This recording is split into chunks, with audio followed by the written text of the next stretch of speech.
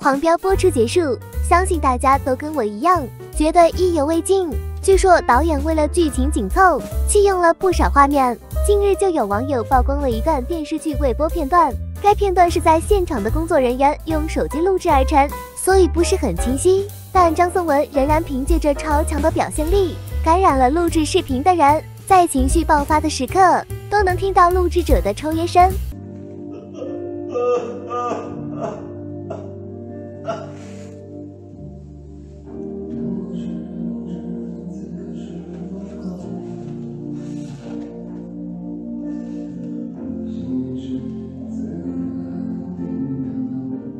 从视频画面可以看出，这段戏应该是在高启盛下线之后，高启强独自蹲在豪宅的沙发角落，翻看家人的照片。虽然这段戏并没有放在电视剧中，但电视剧里高启盛去世后，有一段高启强接到大嫂电话，随后在轿车里哭的画面，或许是觉得太过频繁，所以导演选择了删除其中一段吧。